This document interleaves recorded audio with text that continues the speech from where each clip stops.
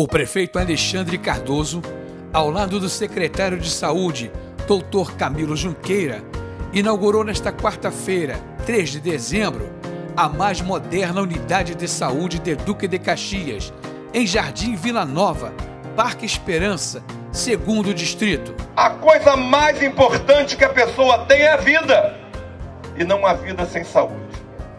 Por isso, no meu cartão de Natal, tem aqui uma mensagem.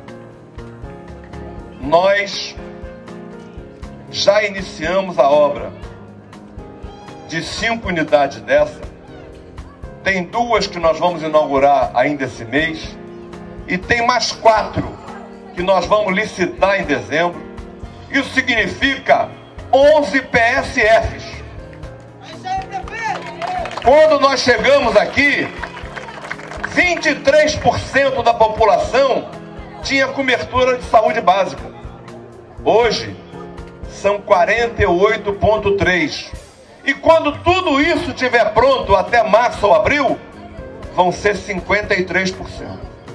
Então eu quero que aquela mulher que é hipertensa, que aquele homem que é hipertenso, a hipertensão não vira o derrame. Eu quero que aquela mulher que é diabética, que a diabetes não vira um coma para ir para o CTI. Eu quero aquela criança que tem diarreia, que a diarreia dela não vira um coma para ela ir para UTI. Fiz em dois anos mais na saúde do que fizeram em dez anos em Caxias. E eu lanço um desafio para comparar.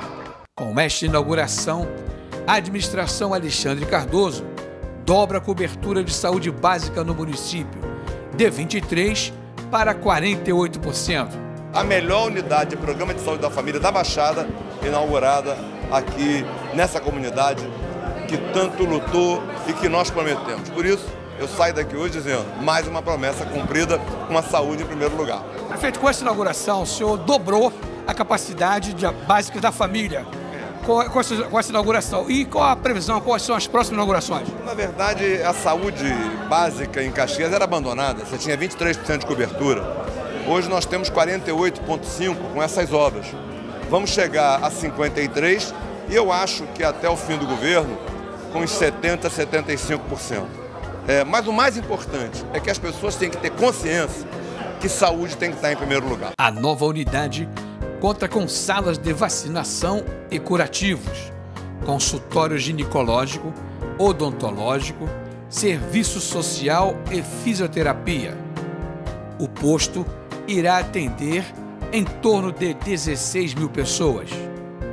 Participaram da solenidade o vice-prefeito Lauri Vilar, o deputado federal eleito Celso Pancera, o deputado estadual Dica, o presidente da Câmara Municipal Eduardo Moreira, o vereador Celso Dualba, autor da indicação, vereadores e secretários.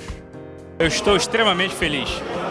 Feliz com a gestão do Alexandre Cardoso, que ele vem incansavelmente junto com os vereadores lutando para trazer uma saúde de qualidade para Duque de Caxias. Como ele bem disse, ele não se preocupou em fazer prazo, e sim cuidar da saúde da população. Aqui onde está esse belíssimo PSF era uma grande lixeira. Nós retiramos daqui mais de 10 toneladas de lixo e hoje entregar para essa população este belíssimo PSF é um motivo de muita alegria.